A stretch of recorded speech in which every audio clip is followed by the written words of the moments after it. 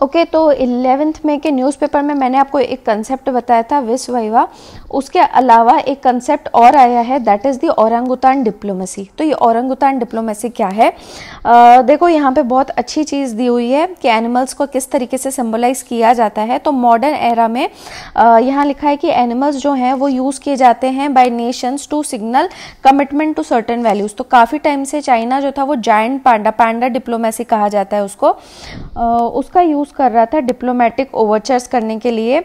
तो अब उसी की राह पे चलते हुए मलेशिया के मिनिस्टर जो हैं वहाँ पे, उन्होंने औरंगुतान डिप्लोमेसी की बात करी। यानी कि जो उनके, जिनके साथ ट्रेड हो गए मलेशिया का, और ऐसे पार्टनर्स को औरंगुतान गिफ्ट किया जाएगा अगर वो लोग कंट्री का पाम ऑयल खरीदेंगे ओके तो एक्चुअली में ये औरंगुतान डिप्लोमेसी पाम ऑयल के लिए ही है मलेशिया के और एक्चुअली में अभी आ, मलेशिया में ये अक्यूजेशंस आ रहे थे कि जो पाम ऑयल प्लांटेशंस हैं वो बहुत ज़्यादा सस्टेनेबल नहीं है बिकॉज़ ऑब्वियसली छोटी सी कंट्री है ज़्यादा लैंड नहीं है तो कितना ही पाम ऑयल प्रोड्यूस कर लोगे? तो इसलिए अब इस अप्रीहेंशन को हटाने के लिए ये औरंगुतान डिप्लोमेसी की बात की है कि भाई ऑयल लोड साथ में आपको औरंग में मुफ़्त मिलेगा ठीक है ना?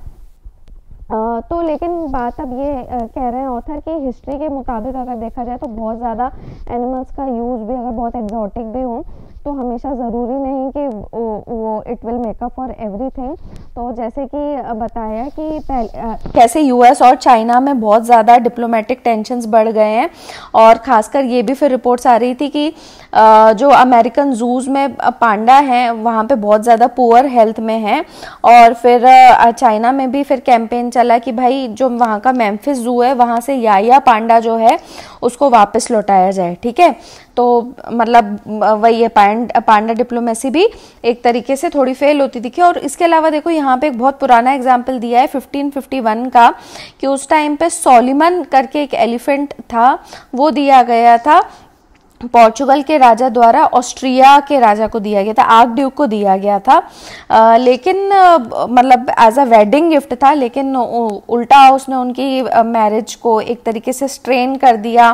बिकॉज़ अब ये देखो एक ये बस कहानी है 1551 में ऐसा जो भी हुआ था। तो कैसे मतलब एनिमल्स सिग्निफिकेंस भी रखते हैं और क्या सिंबलाइज करते हैं? कि उस टाइम पे भाई एक हाथी दिया उस वहाँ पे पोर्चुगल के राजा ने इस तरीके से। लेकिन उसके बाद में फिर कैसे उनकी आ, उनका ध्यान जो था वो ब्राइड से भी हटके पूरा उस हाथी की तरफ़ था। ओके तो इट स्ट्रेन द मैरिज लेकिन अब यहाँ पे देखो एक अच्छी चीज़ और दी हुई है कि औरंग जो है it is only one of the great apes in Asia ठीक है? तो एशिया में पाया जाने वाला एकमात्र ये एप है और एक एंडेंजर्ड स्पीशीज है जो कि केवल ट्रॉपिकल फॉरेस्ट ये देखो, है ना, आपका प्री का क्वेश्चन यहाँ से बन के आएगा। एंडेंजर्ड स्पीशीज है ट्रॉपिकल फॉरेस्ट में केवल पाया जाता है बोर्नियो में यानी मलेशिया, इंडोनेशिया में और सुमत्रा में, जो कि इंडोनेशिया में है ओके और मलेशिया में, है ना, काफ़ी ज़्यादा एन्वायरमेंटल ग्रुप्स का प्रेशर आ रहा था कि पाम ऑयल प्लांटेशन एक्सपेंड करने के चक्कर में और डिफॉरेस्टेशन हो रहा है। तो इसीलिए ये भले आप डिप्लोमेसी कह लो, लेकिन हो सकता है कि this would be more of an irony ठीक है? तो मतलब उल्टा नुकसान ही हो इस चीज़ का। एनीवेज आई होप आपको ये औरंगुतान डिप्लोमेसी पांडा डिप्लोमेसी और एनिमल्स का सिग्निफिकेंस ये इस टॉपिक में समझ में आ गया होगा। Thanks for watching